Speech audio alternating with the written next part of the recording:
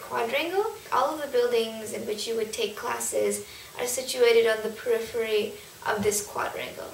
So in any given direction, it probably takes about 10 minutes at the most to walk across campus. The architecture around campus is neo-Gothic.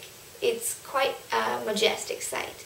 And even though the college was built in the late 1800s, it resembles that of many other Ivy League schools that are much older.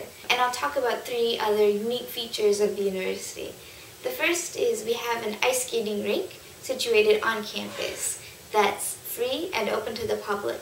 Another unique feature is the Mansueto Library, which is one of its kind.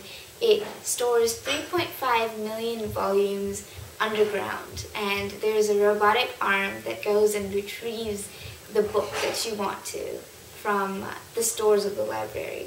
That's in addition to the 9 million volumes that the other libraries on campus hold. Um, and the third unique feature is Rockefeller Chapel, which is a gorgeous chapel.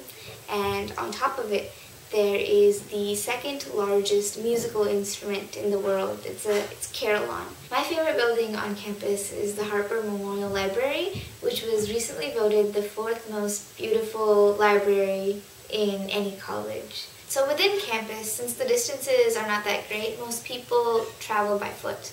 Some people use a skateboard and some people bring their own bicycles. And the school has a bicycle rental program, so you can rent a bicycle whenever you need it as well. The school also has provisions for nighttime travel. It has a system of shuttles that run within the campus during the night to help with transportation. And we also have a program called Safe Ride.